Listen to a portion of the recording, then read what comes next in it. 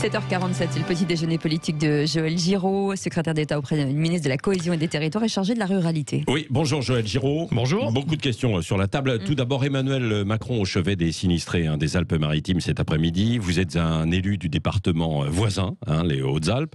Qu'est-il urgent de, de faire là? Pas tout à fait voisin. Ouais, Géographiquement, c'est juste nous sommes au-dessus. séparés, hein. attendez, ouais, ouais.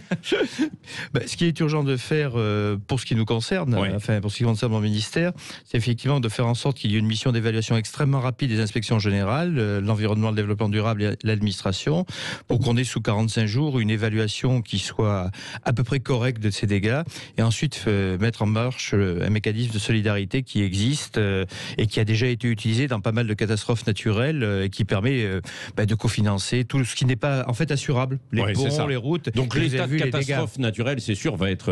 À l'état de catastrophe naturelle, il n'y a aucun problème. Le, le sujet n'est- n'est pas là. Mais ça, ça concerne les biens assurables. Mmh. Euh, le problème, c'est les biens non assurables. Et il y a notamment tous les ouvrages d'art. ouais. Et les ouvrages d'art, ça représente quelque chose d'important. Comme vous avez pu le voir sur les, sur les images, euh, des ponts ancestraux, d'ailleurs, ont disparu. Oui, c'est ça. Là, il y a cette reconstruction euh, des ponts. Et puis après, il y a le réaménagement. Ça pose quand même un certain nombre de questions sur, sur notre ruralité, sur nos, nos campagnes. Alors là, c'est effectivement, ce sont des vallées, quoi. Ben, ça pose des questions sur l'évolution du climat.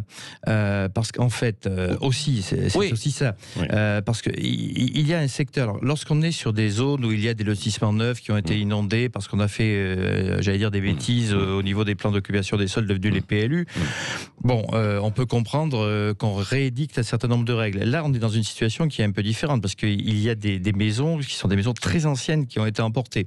Donc, il faut regarder, j'allais dire, les problématiques d'urbanisme au regard de ce qui est en train de se passer et qui deviennent dans les Alpes de plus en plus difficiles parce que vous avez le permafrost qui est en train de, de complètement fondre Ouais. et en altitude, vous avez des mobilisations de matériaux qui arrivent Oui, euh, un peu très les concrètement, Joël Giraud, on avait le maire de Lastour euh, dans Ouais. l'Aude, hein, où ils ont connu ça il y a deux ans. Il nous disait, en fait, il y a une vingtaine de minutes à ce micro, il disait, en fait, on n'entretient plus suffisamment les prairies, euh, on, on coupe les arbres, mais euh, on laisse en fait des troncs d'arbres dans les, dans les rivières, alors qu'il faut laisser en fait les racines. On n'entretient pas suffisamment, avec du bon sens, dit-il, nos territoires ruraux. Qu'est-ce que vous lui répondez? Je, je lui dis que c'est souvent vrai. Mm. Et qu'il- d'ailleurs, il y a des secteurs pour lesquels euh, des services de l'État existent. euh, ça s'appelle la restauration des Mm. terrains en montagne. Et dans ces secteurs-là, on a moins de difficultés parce que tout simplement, on fait en sorte qu'il n'y ait pas d'embâcle, c'est-à-dire de, de- de trucs en travers des, justement des cours d'eau. Et Ben oui, mais vous la- avez, vu, vous avez vu le bois qui est arrivé en fait dans les dans bas J'ai- des Alpes-Maritimes. j'ai- vu, j'ai vu. C'est pas normal. J'ai vu. Je pense que très sincèrement, euh, enfin, ces politiques où il y avait beaucoup de- d'agents qui étaient des agents en fait originaires de l'ONF, hein, euh, qui faisaient ce travail-là, ont été un petit peu dévoyés au fur et à mesure des années, et qu'il convient de revenir à l'essentiel, qui est la protection des populations. Or là, euh, effectivement, je pense qu'il y a un problème de protection des populations dans tout le massif alpin. Euh, Joël Giraud, les députés ont voté hier en faveur de la réintroduction Hein de l'insecticide là, pour sauver la, la filière euh, betterave. Ça a été quand même très chaud du côté de la République en marche. hein. Il y a eu beaucoup de votes contre. Vous, vous auriez voté quoi? Moi, j'aurais voté la réintroduction. Euh, tout simplement, tem- temporaire, bien évidemment, comme c'est prévu. Tout simplement parce que je n'ai pas envie que demain, on ait exclusivement de la betterave euh, qui vienne de, par des- certaines importations au motif euh, qu'on aurait tué une filière chez nous. Euh, ça ne veut pas dire que pour autant, il ne faut pas que la recherche se progresse et qu'on arrive petit à petit à enlever, je dirais, de, de- de l'alimentation absolument tout cela. Après, vous savez, il faut, il faut se méfier aussi des, j'allais dire, de, de celles et ceux qui sont des, des cavaliers blancs. Moi, je, je me rappelle avoir vu euh, des Les gens. cavaliers blancs, c'est quoi Les, Bah, les cavaliers blancs, euh, verts, alors ça? oui, c'est ça. Vous allez faire du khmérisme, Ouais. Euh, mais mais il y, a- il y a quand même un sujet, c'est-à-dire que si vous voulez euh, vraiment, moi j'ai eu le cas, euh, j'ai été maire pendant pendant Mm. presque 30 ans de, de ma commune, on voulait qu'il y ait du bio à 100% dans, dans les écoles, alors qu'on avait simplement bah, des abattoirs de proximité. Lorsque je voyais du bio qui arrivait avec marqué dessus euh, GmbH au lieu de SARL, donc c'était allemand, qui passait par une plateforme à Stuttgart et qui avait un importateur à Ankara et qui finalement traversait toutes les Alpes pour arriver dans nos assiettes, je Ah pense oui. que le bilan carbone global était pas franchement bon. Ouais. Donc euh, oui à des politiques euh, locales, oui effectivement à quelque chose qui est plus local que global, Mm. mais pour autant, au bout d'un moment, il faut quand même nourrir les gens Ouais. et, et surtout euh, éviter que des groupes de pression s'emparent de, de quelque chose.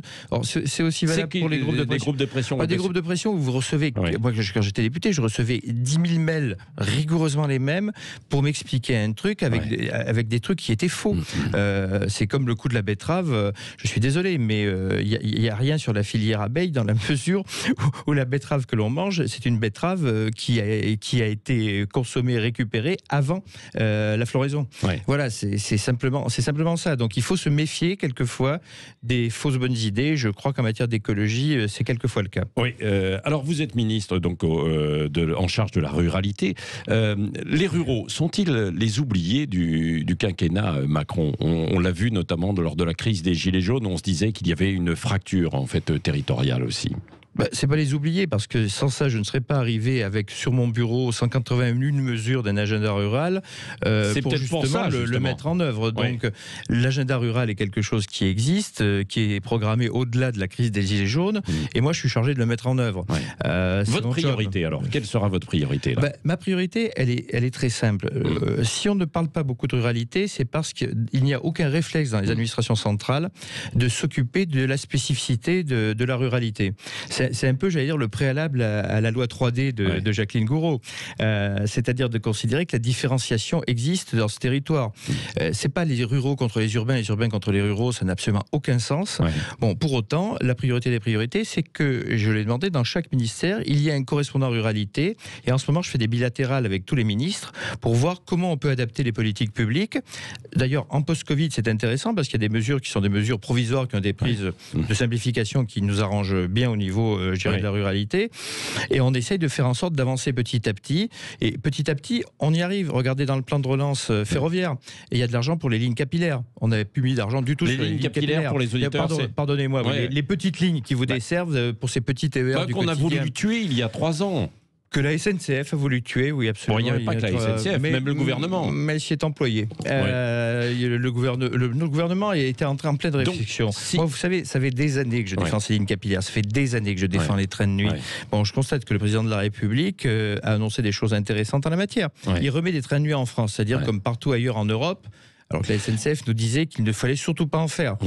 Euh, quelquefois, il faut un peu forcer les, j'allais dire les, les anciens établissements publics de votre, votre mission, euh, Joël Giraud, si je comprends bien, c'est de redensifier, de restructurer les services, notamment euh, euh, dans, les terri- dans les territoires C'est ruraux. de recréer Ouais. des services adaptés à la population parce que on- vit toujours sur quelque chose qui est le service public de papa. Vous n'allez plus de la même façon au bureau de poste, vous n'allez plus de la même façon à votre trésorerie. Alors là encore moins, j'allais dire, parce Ouais, que ouais. avec le, le prélèvement à la source et la taxe d'habitation, Mmh. et, et pour autant, euh, effectivement, on est quelquefois très très loin des services publics. D'où une idée de l'agenda rural qui était de faire en sorte qu'il y ait une bonne fois pour toutes une labellisation de maisons France Service Ouais. où on regroupe les services qui sont utiles au territoire. C'est-à-dire que c'est le territoire qui dit, ben voilà, moi j'ai besoin de ça, de ça, de ça comme service. Euh, j'ai pas forcément besoin de, de tout parce que j'ai à côté un bourg-centre qui fait très bien l'affaire et qui a, a ce genre de service. Voilà mon projet. Est-ce qu'il est, on va dire, suffisamment euh, dense pour avoir une labellisation? Parce qu'il ne faut Ouais. pas que ce soit une mairie euh, bis avec Bien grand-chose à faire. Et au sein de ces services, qu'est-ce que vous avez? Des agents qui sont formés à quelque chose qui est pratiquement de la pluriactivité. Oui, oui. Puisqu'en fait, vous avez un tas de choses intéressantes à faire dans la journée, ce qui est quand même mieux que de rester à attendre le client. Et vous avez des agents qui sont plus heureux, des citoyens qui sont plus heureux. Re- regardez, regardez Pôle emploi.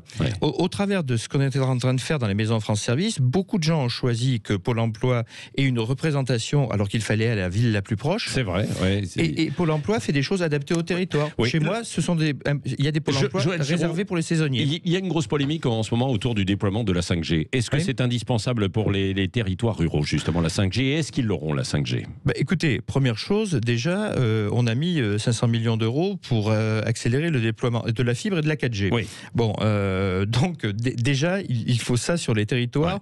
Et je vous prie de croire que je fais des voyages officiels toutes les semaines. Et toutes les semaines, je vois des gens qui n'ont pas le téléphone mobile, qui n'ont plus le téléphone fixe pratiquement parce qu'il n'est pas maintenu, et qui n'ont ni la fibre ni rien du tout. Vaguement un, un bout d'ADSL Ouais, ouais. dans le meilleur des cas. Donc déjà, il faut s'occuper de cela. Mhm. Mais la 5G, c'est pas réservé aux urbains. Mhm. La 5G, c'est fait pour envoyer des choses qui sont euh, très volumineuses. Et des choses très volumineuses, vous en avez besoin Mhm. où? Vous vous en avez besoin, par exemple, lorsque vous avez une, une entreprise peut-être petite, mais 50 emplois euh, quand, dans un village de Bah, 200 oui. habitants, c'est colossal, et qui a envoyé bah, de la modélisation parce que Donc vous allez tout faire pour, euh, pour le- Et- la et 5G nous dans avons- les territoires et- ruraux, et- justement. Absolument. Et nous avons déjà, euh, Ouais. avec Cédrico et avec le Premier ministre et Jacqueline Gouraud, nous avons fait une réunion de, de calage de tout cela. Il y aura du déploiement de la 5G là où il y a des gros volumes en Ouais. milieu rural, de la même façon. C'est que- une priorité, quoi.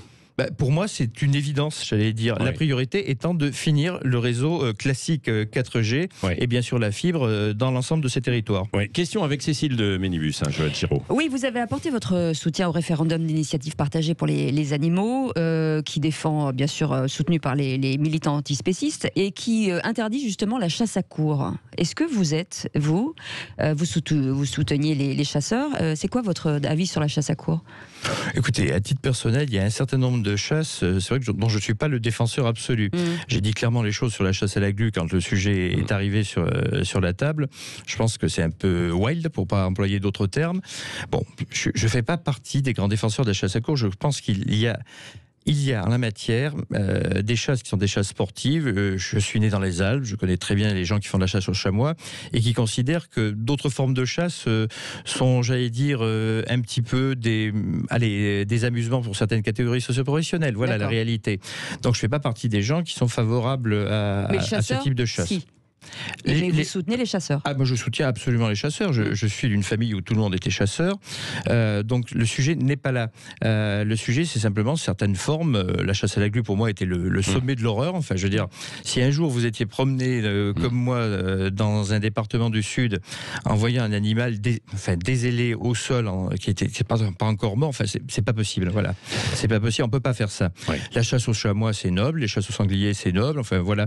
Euh, il, il y a des formes de chasse qui effectivement euh, relèvent, je dirais, de, du droit que les citoyens ont pris euh, sur- à l'époque sur la, la noblesse Du française. et qui devrait pas. euh, et d'autres qui relèvent d'un d'un certain divertissement qui pour moi n'est- n'est n'est pas quelque chose qui dans la société demeure in fine acceptable. Voilà. Merci Joël Giraud, secrétaire d'État auprès du ministre de la Cohésion des Territoires, de la ministre hein, en Merci charge de la ruralité. Merci d'avoir été avec nous ce matin sur Sud Radio. Et dans un instant, le journal de 8 heures. Sud Radio.